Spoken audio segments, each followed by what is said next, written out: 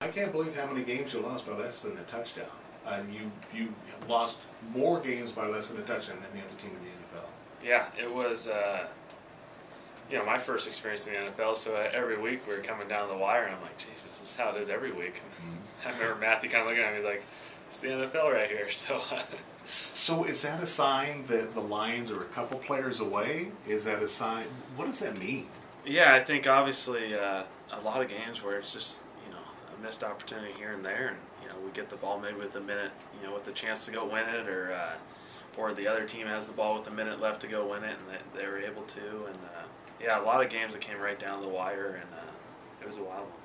It was a lot of exciting games for those who followed Detroit and watched those games. What were the differences for you? I mean, a, a year ago, you were still over across the street over at BSU, waiting to see what happened with your future. Of course, you go to Detroit, you make the squad. Once again, beating the odds of what people said, oh, he'll never even make an NFL squad. You made the squad. Uh, we're a member of the Detroit Lions. What is this whole past year? If you could sum it up, you know, just a little bit, what, what has it been like for you? Uh, there's been a lot. You know, I, I kind of think about that. I mean, essentially, right now where we are, this is really the first time like Julie and I have had a break, and uh, you know, you go right from Boise State season. Uh, we had a few days for Christmas after the Vegas Bowl, and then then you know you hop on a flight and you're in California, and you know you go through all that off-season stuff and the training and the combine, and then then you go to Detroit, and then you're there, and you know maybe have a couple weeks in the summer to, to breathe, and then you're right in the camp, and so. Uh, it's been a long year. Uh, it's been exciting, certainly. You've been been a lot of places, done a lot of things, uh, met a lot of good people. But uh, yeah, it's kind of nice to finally have a break and to, to breathe and relax a little bit. A little bit about your former coach, Coach Petersen. Of course, we've gone through another round of oh no, he's going here, he's going there. Yep. Guess what? He's staying with the program with the guys he's committed to, and he's right here. When Coach Petersen, I had this conversation, it kind of changed my mind on some things. When he is all said and done, when he is finished and he's decided he's going to go cut coupons and watch football on TV on Saturdays, what do you think he'll be most remembered for? Uh, that's that's a really good question.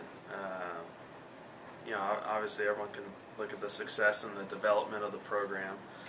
Uh, I think there's there's definitely been a culture that, that he's developed that I think is very unique and you know from the football perspective and in the football world I think that's one of the biggest things people from the outside recognize is you know they recognize people you can quickly recognize someone who came from Boise State and uh, and you can just you can tell everyone kind of uses there's something there's some outlier type thing going on there that no one else can really capture or you know attain, but you know they want to. But uh, you know there's just something that's been developed over. Who do you pick for the AFC Championship and why?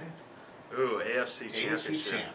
You know I think uh, Den- Denver's obviously been playing very well, and and you look at New, New England, Houston, that'll, that'll be a good one. And I think uh, you know everyone looks at New England beat them the previous one, but. Uh, You you, think you, you Houston never really know. has a shot at that? I, th- I think Houston really does, and uh, Huh. you know, I, I- think at, in the end of the day, uh, there's something you know special about New England. They always find a way, and uh, probably see another one of those Manning uh, Brady things that we all grew up watching.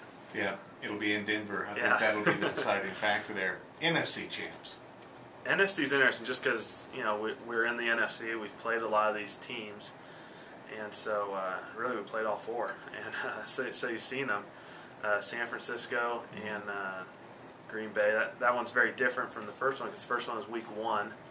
Uh, beginning of the year, Alex was playing not uh, Kaepernick, and uh, Green Bay is a very different team from earlier in the year. Just from our experience watching them on tape and playing them, uh, they're they're kind of hot at the right time and playing well. And uh, you know, Aaron Rodgers kind of he just scrambles around and makes plays, and uh, you know, Green Bay's pretty pretty lethal.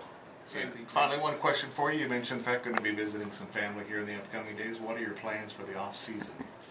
yeah, just just work out and at the same time trying to keep a balance. You know, Mhm. you, you still want to continue to work out and throw and do do that aspect to kind Do you of get a develop. coach?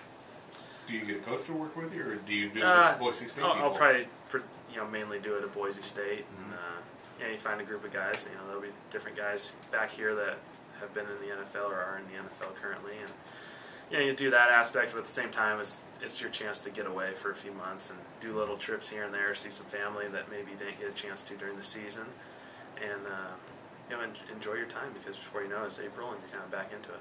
You gonna be, uh, are you booked to do any signings in town or appearances at all, or are you hiding? I don't know. We'll uh, see how that develops. So far, all I've been doing is hiding and uh, catching up on the sleep. So Perfect. Kellen, thank you so much for going out the record. We've enjoyed uh, talking to you each week during the course of the season as you've gone through your experience. Hope to do that again next year as uh, we continue to follow your career and uh, uh, career path. We do appreciate it, Kellen. Thanks so much. absolutely, thank you.